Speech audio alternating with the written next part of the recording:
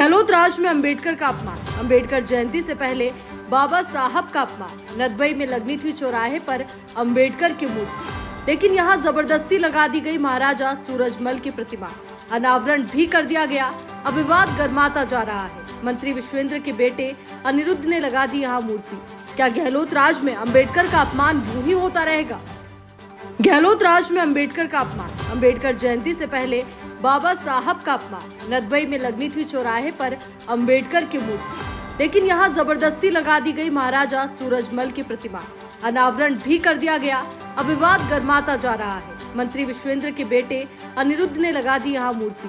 क्या गहलोत राज में अंबेडकर का अपमान यूँ ही होता रहेगा? गहलोत राज में अंबेडकर का अपमान। अंबेडकर जयंती से पहले बाबा साहब का अपमान। नदबई में लगनी थी चौराहे पर अंबेडकर की मूर्ति। लेकिन यहाँ ज़बरदस्ती लगा दी गई महाराजा सूरजमल की प्रतिमा। अनावरण भी कर दिया गया। अब विवाद गर्माता जा रहा है। मंत्री विश्वेंद्र के बेटे अनिरुद्ध ने लगा दी यहाँ मूर्ति।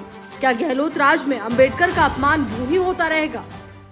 गहलोत राज में अंबेडकर का अपमान। अंबेडकर जयंती से पहले बाबा साहब का अपमान। नदबई में लगनी थी चौराहे पर अंबेडकर की मूर्ति। लेकिन यहाँ ज़बरदस्ती लगा दी गई महाराजा सूरजमल की प्रतिमा। अनावरण भी कर दिया गया। अब विवाद गर्माता जा रहा है। मंत्री विश्वेंद्र के बेटे अनिरुद्ध ने लगा दी यहाँ मूर्ति। क्या गहलोत राज में अंबेडकर का अपमान यूँ ही होता रहेगा? गहलोत राज में अंबेडकर का अपमान। अंबेडकर जयंती से पहले बाबा साहब का अपमान। नदबई में लगनी थी चौराहे पर अंबेडकर की मूर्ति। लेकिन यहाँ ज़बरदस्ती लगा दी गई महाराजा सूरजमल की प्रतिमा। अनावरण भी कर दिया गया। अब विवाद गर्माता जा रहा मंत्री विश्वेंद्र के बेटे अनिरुद्ध ने लगा दी यहाँ मूर्ति क्या गहलोत राज में अंबेडकर का अपमान यूँ होता रहेगा गहलोत राज में अंबेडकर का अपमान अंबेडकर जयंती से पहले बाबा साहब का अपमान नदबई में लगनी थी चौराहे पर अंबेडकर की मूर्ति लेकिन यहाँ ज़बरदस्ती लगा दी गई महाराजा सूरजमल की प्रतिमा अनावरण भी कर दिया गया अब विवाद गर्माता जा रहा है। मंत्री विश्वेंद्र के बेटे अनिरुद्ध ने लगा दी यहाँ मूर्ति। क्या गहलोत राज में अंबेडकर का अपमान यूँ ही होता रहेगा?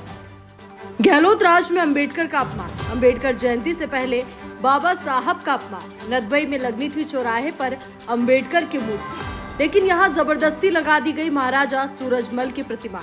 अनावरण भी कर दिया गया। अब विवाद गर्माता जा रहा है। मंत्री विश्वेंद्र के बेटे अनिरुद्ध ने लगा दी यहाँ मूर्ति। क्या गहलोत राज में अंबेडकर का अपमान यूँ ही होता रहेगा?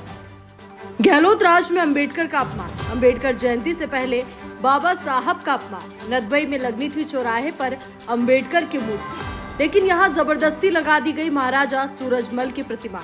अनावरण भी कर दिया गया।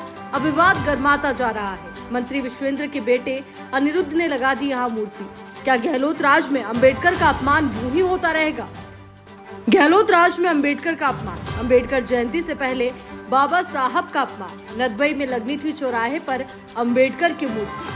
लेकिन यहाँ ज़बरदस्ती लगा दी गई महाराजा सूरजमल की प्रतिमा।